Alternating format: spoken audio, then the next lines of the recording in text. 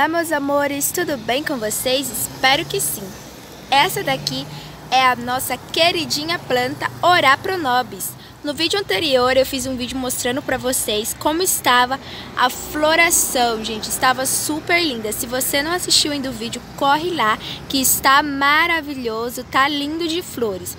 E hoje eu vim mostrar para vocês os benefícios, tá? Eu vim falar um pouquinho para vocês dos benefícios da Ora Pronobis.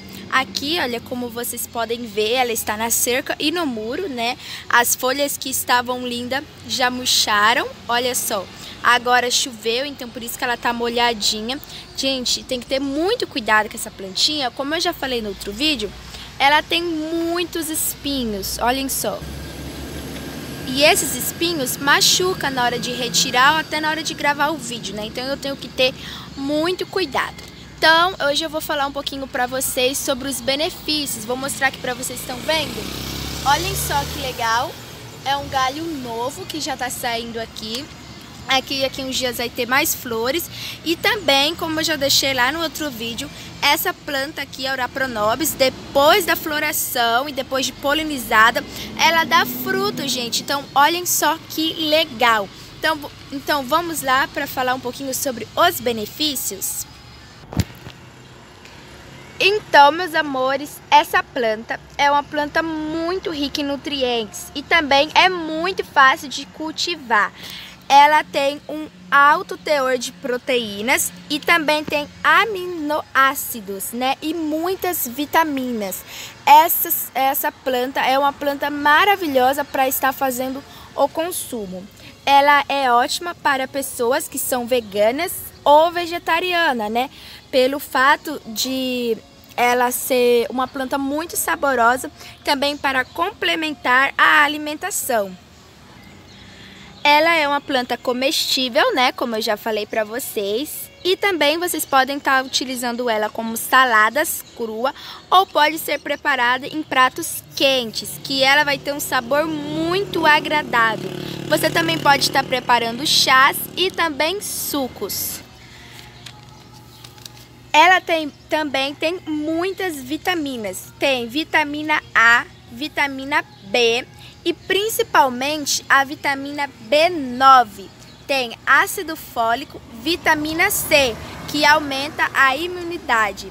E também é rica em ferro para tratar anemia.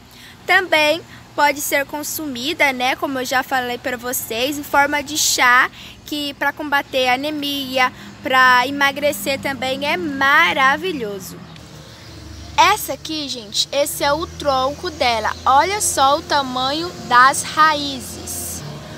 Eu falei errado, gente, não é raiz, é os espinhos. Olhem só o tamanho dos espinhos, tá? Ela é uma planta, gente, além de ter muito nutriente, de ter muitas vitaminas, de ser ótima para a saúde, ela também é de super fácil cultivo. É um galinho que você tá plantando já pega, tá? É super fácil de cultivar, ela pode viver em vários tipos de solo e também em solo super po pobre de nutrientes, que ela vai se dar super bem.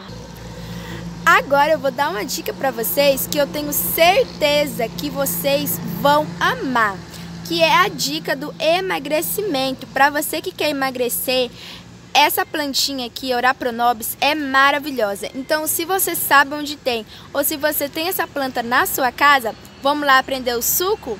Então, meus amores, para vocês estarem fazendo o suco da Orapronobis, vocês vão precisar de folhas novas, como essa daqui, ó. Vocês estão vendo? São folhas novas, né, de brotos novos, então as folhas são bem molinha, ó, bem molinha mesmo. Vocês vão cortar essas folhas com muito cuidado, com espinho, né, ó. E daí vocês vão bater, vão pegar mais ou menos umas 100 gramas, que dá mais ou menos umas 10 folhas, né? Dessas daqui. Não precisa ser muito. Daí, vocês também vão utilizar a metade de um limão e vai colocar uma água bem geladinha e vai bater no liquidificador. E daí vocês vão tomar esse suco na parte da manhã. Vocês podem estar tomando ele em jejum ou depois do café da manhã, é vocês que decidem. Mas, gente, essa plantinha é maravilhosa para o emagrecimento, eu tenho certeza que vocês vão amar. Então, meus amores, espero que vocês tenham gostado desse vídeo. Se você ainda não viu a floração dessa planta maravilhosa que é a Aurapronobis, vai lá assistir o último vídeo que está postado aqui no canal.